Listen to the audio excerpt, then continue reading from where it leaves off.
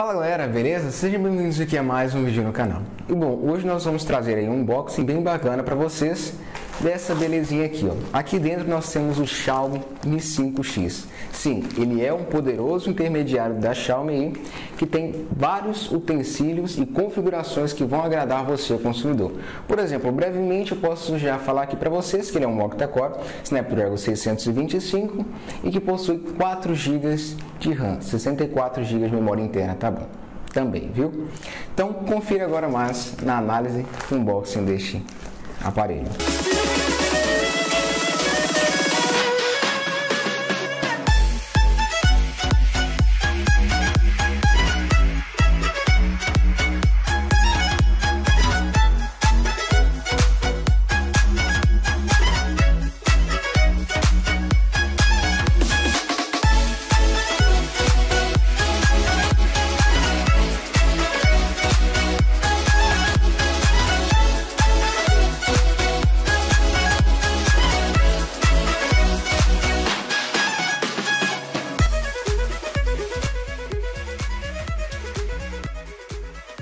E bom galerinha, beleza? Sejam bem-vindos aí novamente. Nós vemos aqui que o produto ele vem bem embalado, né? Padrão aí da Xiaomi, vem com uma proteção muito bacana. A capa ou a caixa, como vocês mais conhecem, ela é bem simples, não tem muito mais coisa. Se vocês já acompanharam aí outros aparelhos da empresa, vocês viram que é uma caixa bem padrão. Lembrando que o smartphone, como vocês podem ver, ele tem um design unibody de metal, tá bom? E é muito bonito. Não estranhem aí a cor porque ele foi pedido por uma amiga nossa. Então, obviamente, ela quis uma cor semelhante à rosa, que no caso é esta aí. Olhando, observando mais a fundo aqui a caixa, nós vemos que não tem muita coisa. Apenas o cabo aí, transferência de dados, né, USB, tipo C, bem simples por sinal. A caixinha bem simples também, não tem mais nada que acrescente e aqui nós vemos a chave de retirada de cartão de memória e também de micro SD. Nós vemos que ele tem um peso bem leve, né? Pesando por volta de 165 gramas, bem maneiro mesmo.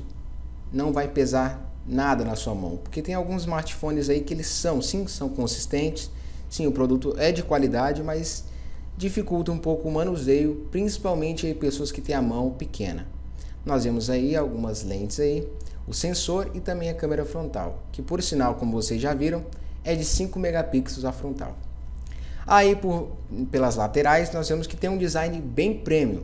Observem a saída aí de microfone, né, ou de som, e também a entrada aí, a entrada aí do carregador. Nós vemos aí que tem um design bem bacana, né, de metal, ele tem um corte aí na superfície da tela que deixa o design bem mais premium.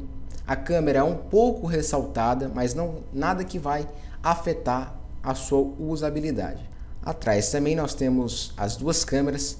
São duas câmeras é, diferenciadas, mas agindo como uma, tá? Elas têm funções específicas, mas também de 12 megapixels cada. Nós vemos também ali o leitor de impressões digital.